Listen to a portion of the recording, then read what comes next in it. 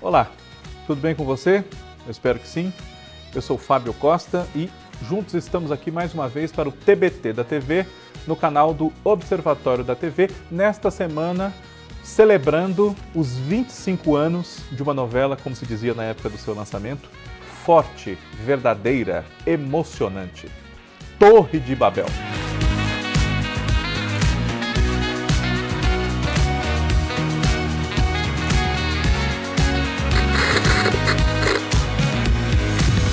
Torre de Babel, que é uma novela do Silvio de Abreu, mas antes de falarmos sobre essa novela, que como eu disse está completando 25 anos, faço a vocês os meus pedidos de sempre. Quem não for inscrito ainda no canal, inscreva-se. Ative no sininho as notificações para não perder os nossos vídeos. Comente aqui, sugerindo temas para nós, dizendo o que eu esqueci, o que eventualmente eu possa ter errado, é, pedindo para nós, olha, faz isso, faz aquilo.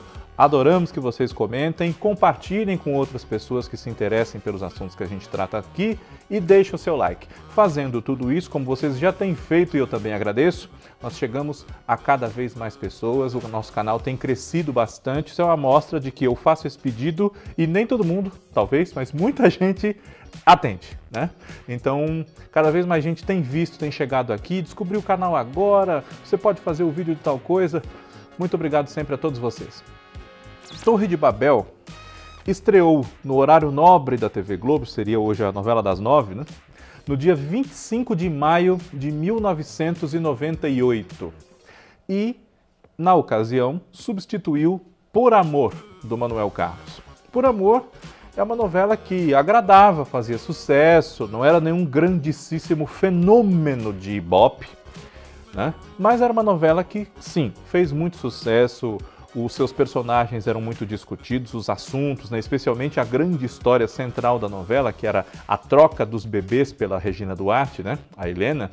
A segunda das três Helenas que ela fez, ela trocou o seu filho biológico e pôs no lugar do neto que nasceu morto, né? para que a filha, a Maria Eduarda, a Gabriela Duarte, tivesse essa oportunidade de ser mãe que ela já havia tido, como ela mesma dizia na novela e isso disparou uma série de problemáticas ali para aqueles personagens. A novela já foi reprisada 92 vezes, né? E é, se cristalizou ao longo desses 25 anos que ela também tem, claro, como uma novela muito memorável, o público gosta, enfim. E tem um tom muito diferente de Torre de Babel. Né? Torre de Babel é uma novela que tinha que lutar por uma audiência no horário nobre com programas que apelavam para a violência, para as mazelas da sociedade, para o chamado mundo cão. Especialmente o programa do Ratinho, que quando a novela estreou era exibido pela Record TV, ou pela Rede Record, como queira, com o nome de Ratinho Livre. Ele ainda não havia estreado no SBT, onde está até hoje. Estreou inclusive durante o percurso da Torre de Babel. E é, esse tipo de programa que começou a fazer muito sucesso ao longo da década de 90, embora já tenhamos exemplos a dar no mesmo sentido na década de 80, no Povo na TV, que era um programa vespertino do SBT, ele atraía uma parte do público que ou não queria ver a novela, não se interessava por qualquer motivo, ou não acompanhava todo dia, enfim, dependendo dos casos da vida real que fossem abordados pelo Ratinho, as pessoas davam uma escapada da novela, então havia uma concorrência, os canais olhando a que horas um entrava no intervalo para entrar para o intervalo também, ou não, para se aproveitar da migração de público que eventualmente pudesse acontecer, enfim. E Torre de Babel estreou nesse cenário. Para contar a sua história, Silvio de Abreu resolveu pesar um pouco numa, num, num conteúdo de violência que a novela apresentava para disparar o enredo, a fim de que pudesse chamar atenção num cenário em que a violência na TV já estava até um pouco banalizada. Né? Nós vimos de uma década de 90 do Aqui Agora, do nascimento do Cidade Alerta, de muitas liberdades que foram tomadas depois do fim da censura, no final dos anos 80. Então, era um momento em que ele tinha que chocar para chamar a atenção. Ele sabia disso e foi o que ele fez. Torre de Babel começa no final dos anos 70, são poucas cenas passadas ali nos anos 70, em 78, quando num jantar de celebração dos avanços das obras da companhia construtora do César Toledo, que é o personagem do Tarcísio Meira, um dos seus operários, o José Clementino da Silva, papel do Tony Ramos, faz uma coisa escabrosa. Né? Ele mata a mulher e um de dois homens com quem ela o estava traindo lá na obra a golpes de pá. Ele fica possuído, ele sai procurando a mulher, porque a mulher dá um perdido nele, né? Você não viu Beltrana? Você não viu Beltrana? Minha mulher não estava aí. Não, Clementino, sua mulher não estava aqui dentro do banheiro. Ela falou para mim que vinha no banheiro. Então ele, como conhece muito bem a obra, sai procurando pela mulher. Encontra a esposa em intimidades amorosas, por assim dizer, para ser sutil, né? Com não um, mas dois homens ao mesmo tempo. E fica cego de revolta, de raiva, a primeira coisa que ele vê pela frente é uma pá que está enterrada num monte de areia. Ele tira aquela pá e vai para cima deles. Um sobrevive, inclusive é testemunha no julgamento do Clementino. O outro ele consegue matar e mata a mulher. Dá-lhe um golpe com a pá na cabeça. Quebra o pescoço dela, né? Provavelmente com esse ato de violência. E o José Clementino, ninguém diria que ele seria capaz de fazer uma coisa daquelas. Né? Mas ele só não foge da cena do crime porque o Tarcísio, ou melhor, o César, não permite. Ele tranca ele lá num quartinho e manda chamar a polícia, que ele vai ficar lá é, preso até a polícia chegar para levar e ver o que faz com ele. E os colegas dizem, né, deixa ele embora, doutor. Não, ele não vai embora não, vai ter que esperar a polícia chegar porque isso que ele fez é horroroso, enfim. Por causa dessa atitude, o Clementino é levado, é preso e é julgado. Talvez com o trabalho da defesa, enfim, ele não pegasse uma pena tão pesada ou até nem fosse condenado, porque, lembrando, isso acontece na história no final dos anos 70, quando havia muito em voga na nossa justiça uma figura da, da, da, violenta emoção, do crime passional cometido em defesa da honra e coisas nesse sentido. Né? Então talvez o Clementino até se livrasse.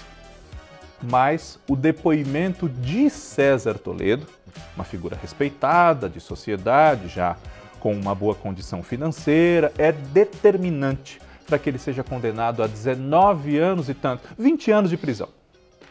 Ele diz o seguinte: mais ou menos assim. Eu sou pai, eu sou marido, eu vi o que esse homem fez e eu não poderia nunca mais dormir em paz sabendo que um animal como este está por aí, solto nas ruas. Isso faz com que o Clementino seja condenado.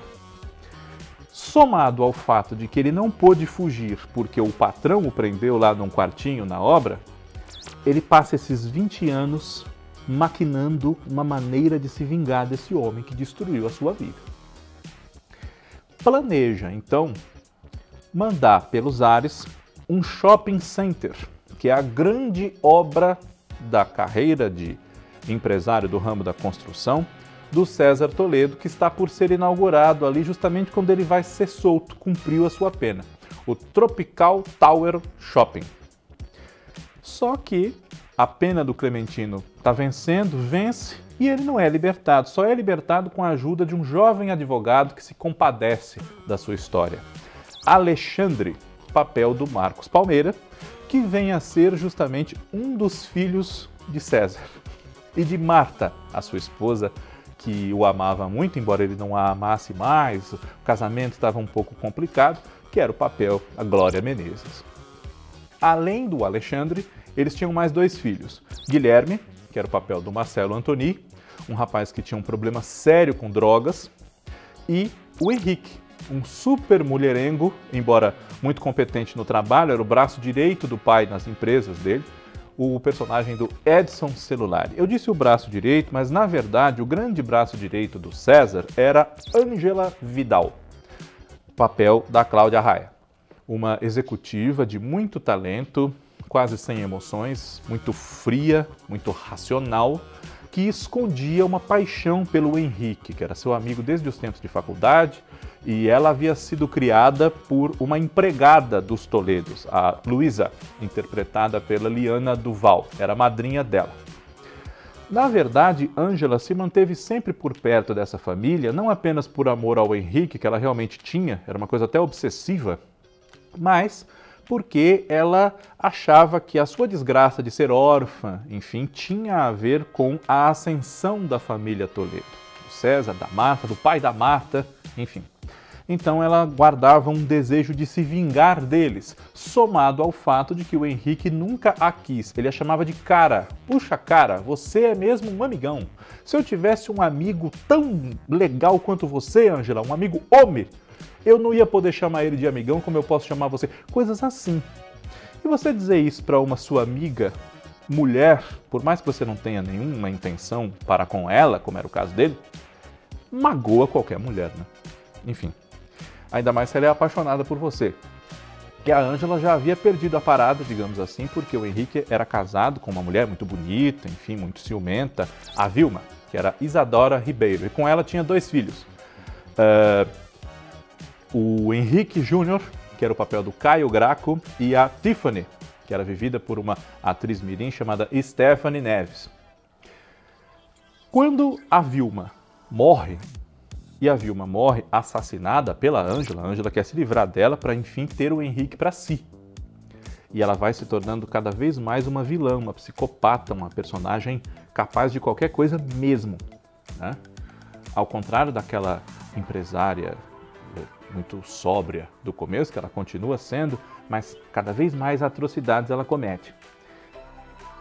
Com a Vilma morta, ela quem sabe pode conquistar o Henrique, só que ele a essa altura já está apaixonado pela cunhada, a mulher do Guilherme, chamada Celeste, personagem da Letícia Sabatella, que tinha com o Guilherme um filho, o Guiminha, que era o Felipe Latier. Um pouquinho crescido, Felipe Latier foi o Otávio em Da Cor do Pecado, outra novela da mesma diretora de Torre de Babel, Denise Sarraceni. Muito bem, José Clementino da Silva sai da cadeia com a ajuda do Alexandre, que está namorando a sua filha, a Sandra, que é a personagem da Adriana Esteves. Desperta o amor da outra filha do Clementino, uma moça muito boazinha, que era coxa, né? É, ela mancava.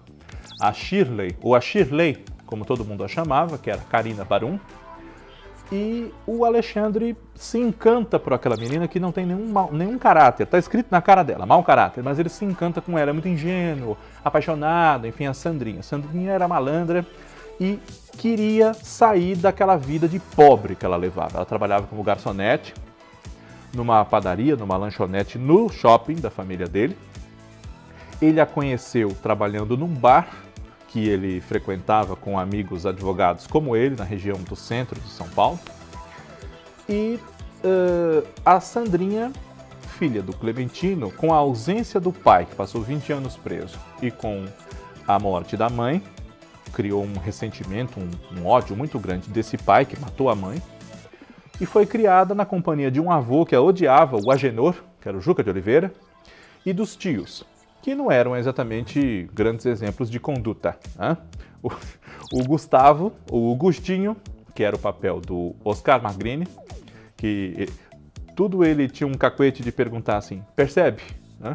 É, é, como o sabe das personagens da Daisy Lucid, né? Tudo era é, vírgula, percebe? Então, quando ele depois vira cantor no decorrer da novela, até adota o nome artístico de Johnny Percebe. Só que ele vira cantor com a voz do outro irmão o Ariclenes, ou melhor, o Boneca, que era o papel do Hernani Moraes. Junto com eles ali também morava o Jamanta, o Ariovaldo, o seu nome, que era o Cacá Carvalho, um personagem que depois de tanto sucesso que fez nessa novela, ele caiu na boca do povo, enfim, era muito satirizado pelo Caceta e Planeta, né? E o Jamanta era apaixonado pela Sandrinha, e ele dizia que não queria morar com os ratos porque era ameaçado disso pelos integrantes da família.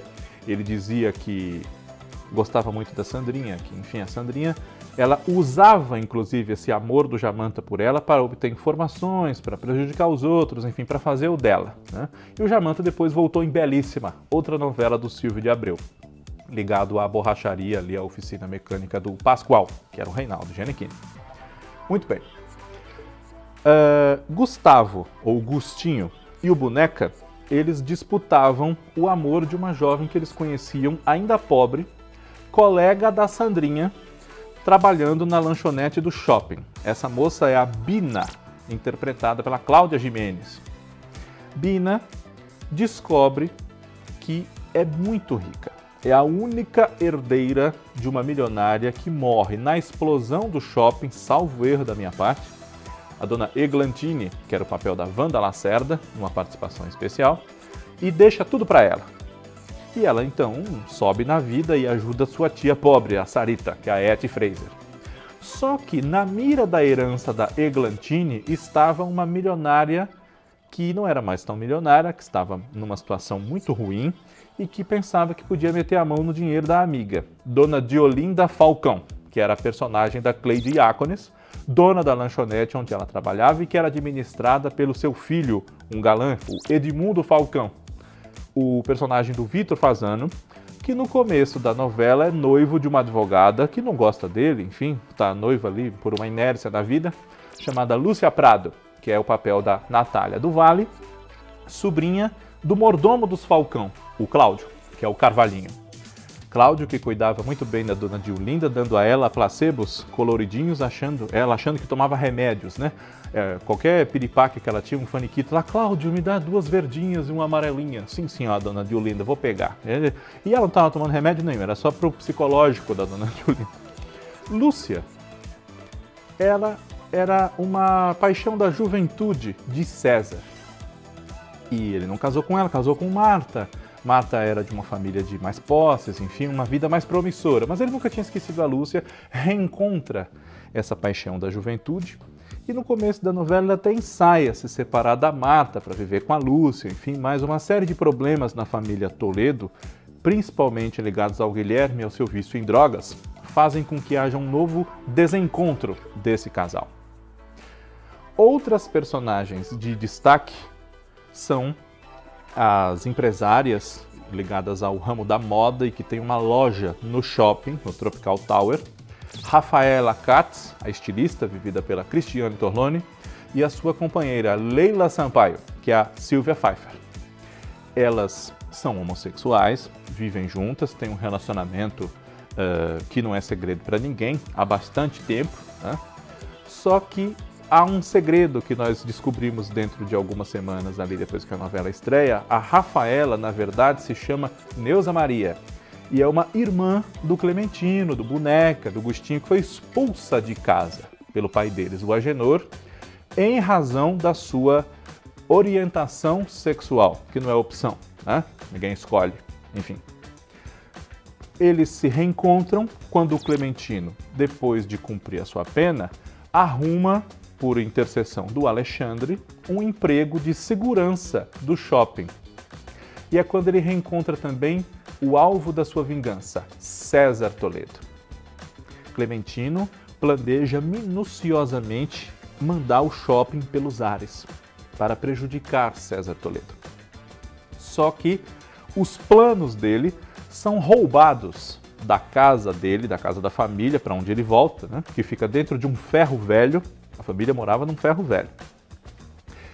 E a gente então não sabe quem foi que roubou os planos do Clementino e quem é que manda efetivamente o shopping pelos ares. O shopping explode.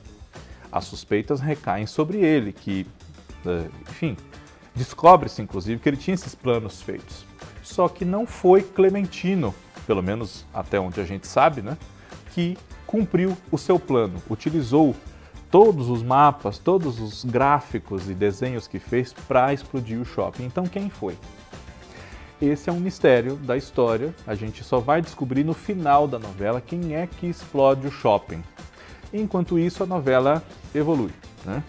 Na explosão do shopping, nós temos algumas mortes de personagens que já estavam previstas na sinopse da novela. Fala-se muito sobre isso, dizendo que o Silvio de Abreu inventou a explosão para dar fim aos personagens que o público rejeitava, enfim. Não. A explosão estava prevista. Silvio de Abreu começou a criar a ideia de Torre de Babel, que ele foi maturando, quando o World Trade Center, nos Estados Unidos, sofreu um primeiro atentado, antes daquele de 2001, nos anos 90 e 93, salvo erro meu. Dali ele teve a ideia de fazer uma novela que fosse ambientada num grande shopping, que explodisse, o literal impacto daquilo na vida das personagens, enfim. E Torre de Babel é de 1998. Nesse episódio da explosão, morre o Guilherme, só que na verdade, se eu não estou enganado, ele já estava morto quando o shopping explode. Ele tem uma overdose. Tem cenas muito chocantes no começo da novela, não só o, o, crime do Clementino, mas a casa da família Toledo totalmente metralhada e invadida por vários traficantes encapuzados que levantam a saia das mulheres com a ponta das metralhadoras, levantam a saia da Glória Menezes, né? E tudo isso para cobrar uma dívida do Guilherme. Cadê o Guilherme? Então, ah, não, ele não está, nós não sabemos onde ele está. Então diga para o filhinho pagar o que ele deve. Né? E, e, metralham tudo, mandam o, o, lustre que tem na sala, a, a, a bala, né? vai para o chão, a, estraga a mesa do jantar, uma desgraça.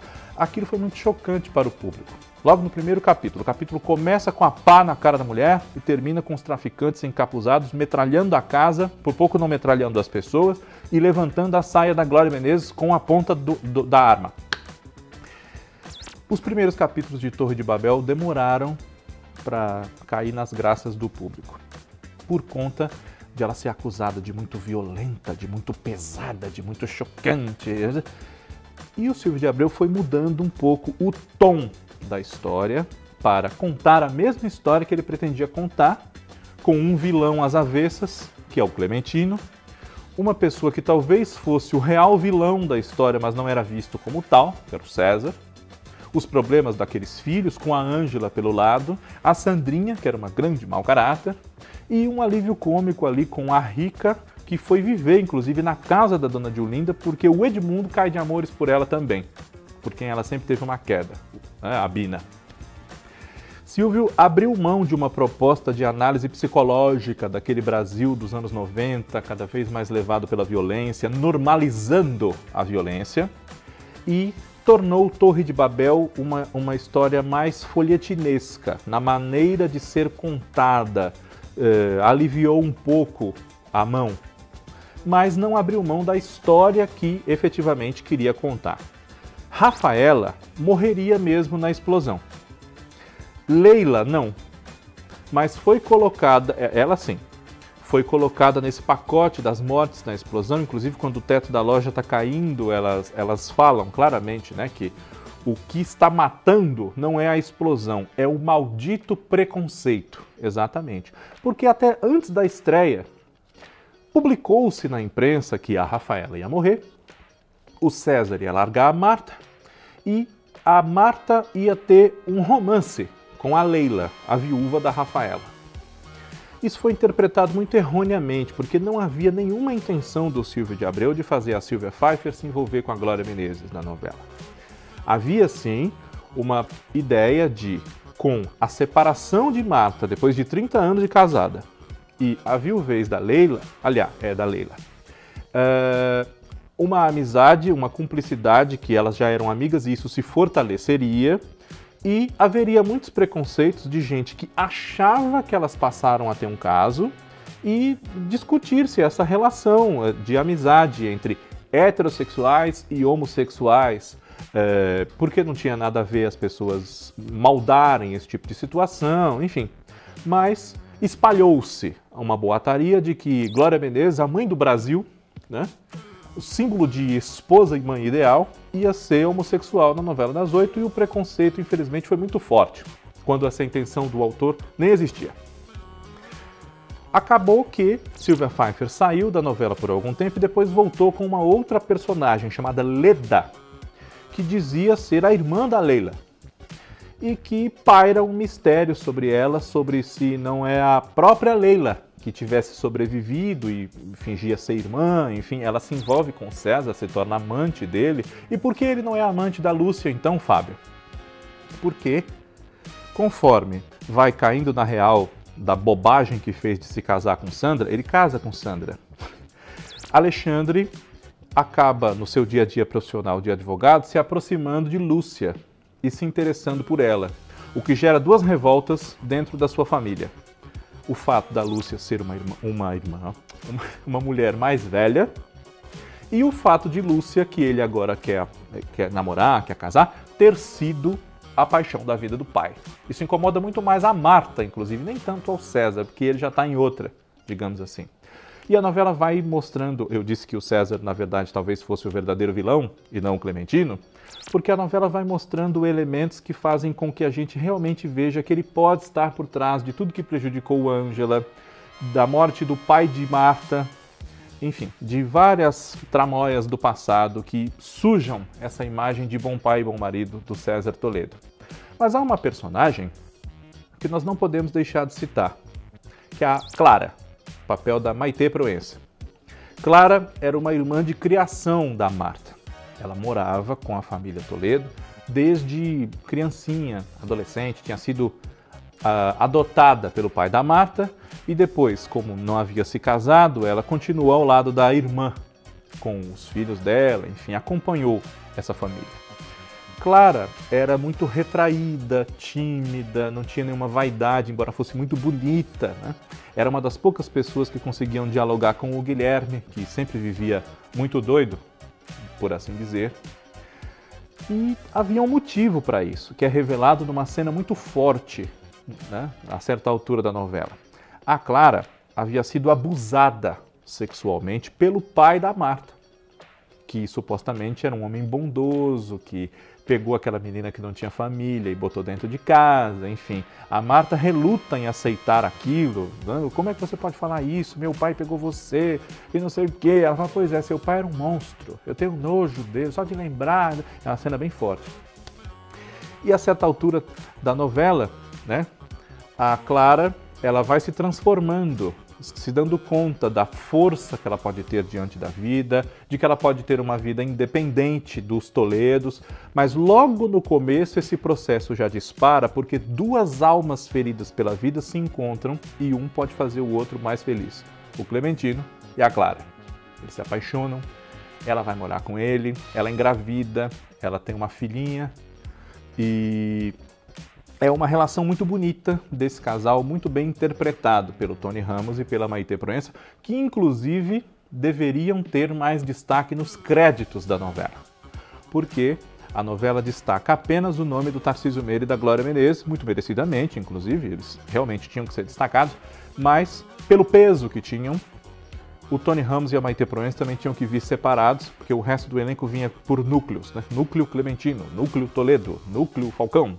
Mas, pelo menos, o Tony Ramos e a Maite Proença tinham que ser destacados. Eu sou contra, inclusive, tanto a ordem alfabética nos créditos, quanto essa divisão por família, por núcleos, enfim. Os créditos costumam ser injustos, mas divisões assim talvez os tornem mais injustos ainda. Enfim, essa é uma outra discussão. Torre de Babel conforme se não se suavizou, isso é um pouco de exagero, mas conforme ela passou a ser contada de outro jeito, agradou o povo. Por mais que seus personagens fossem os mesmos e não tivessem exatamente mudado de perfil. E a audiência da novela subiu. Ela depois passou a ser um grande sucesso. Acho que pode-se dizer que até maior do que a da própria Por Amor na época e seguramente maior do que a novela que veio em seguida, em 1999, Suave Veneno, do Agnaldo Silva. No final da novela, é revelado para nós quem foi que explodiu o shopping. E quem foi? Foi a Sandrinha. E por quê? Ela queria fazer o Clementino pagar por aquele crime que ele não cometeu para que ele voltasse para a cadeia, né? Enfim e ela é, existe uma, uma rede de personagens ligada nesse processo. Por quê?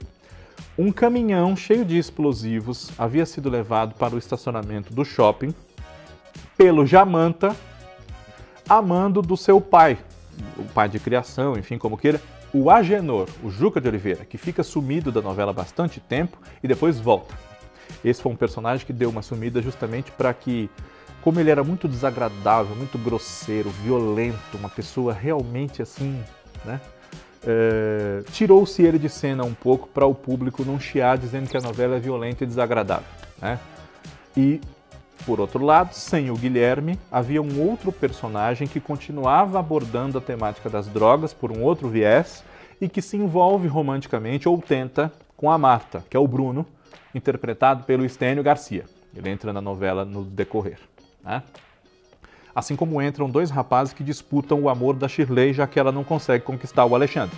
O Danton Mello, que é o Adriano, que ficou ausente da novela durante algumas semanas, inclusive porque nesse meio tempo ele também apresentava o Globo Ecologia, sofreu um acidente de helicóptero no meio da mata, quase morreu. E o outro era o Felipe Rocha, de nome Dino. Dino entra na novela quando o ferro velho deixa de ser ferro velho, aquele ambiente que o público não curtia muito, e é convertido numa lanchonete. Né? E o Dino vai trabalhar lá de garçom, enfim. Ele é parente de um homem ligado ao passado dos mistérios do César, o Pacheco, que é o personagem do Dari Reis. Entra e fica, tem uma participação recorrente na novela. Pois bem, como eu dizia, o Jamanta leva o caminhão cheio de bombas, cheio de explosivos, para um determinado local, onde os planos do Clementino diziam que deveria ser, no estacionamento do shopping amando do Agenor, o que dispararia, o que detonaria os explosivos seria uma determinada ligação para um serviço de mensagens que na época, nos anos 90, existia, né? o BIP, enfim, a gente podia mandar mensagens por escrito ou por áudio, né? num determinado número que a pessoa tinha, né? mal, mal comparando assim um, WhatsApp assim da pré-história. Né?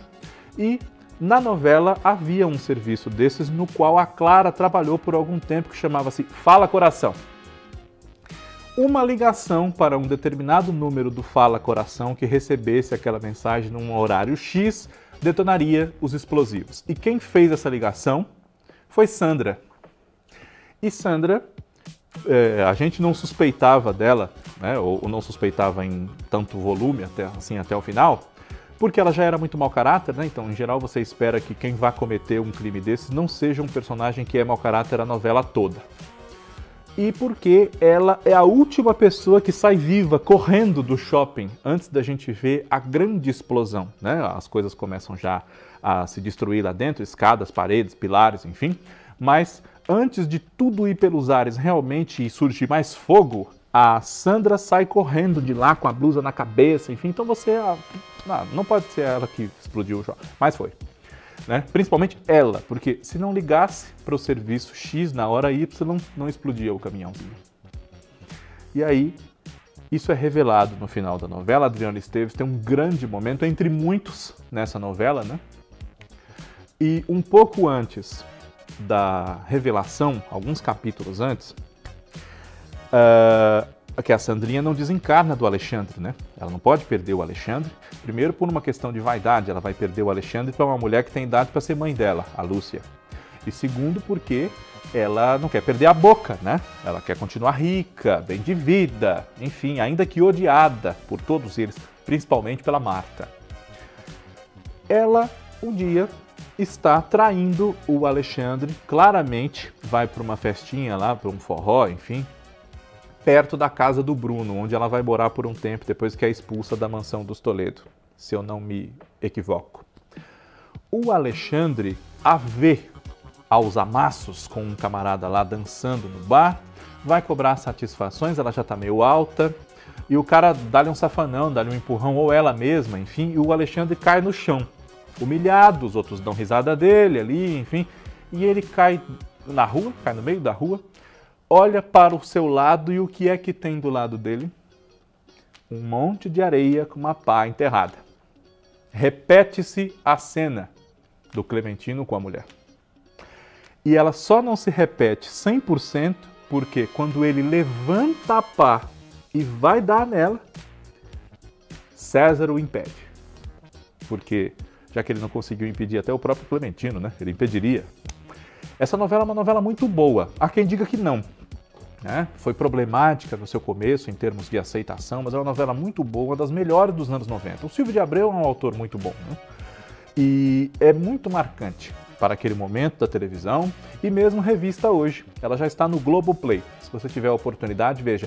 Nós não podemos nos alongar muito aqui, há muitas nuances né, para se falar dos personagens, enfim. E Torre de Babel é uma novela muito bem arquitetada, como o Silvio costuma fazer sempre, inclusive.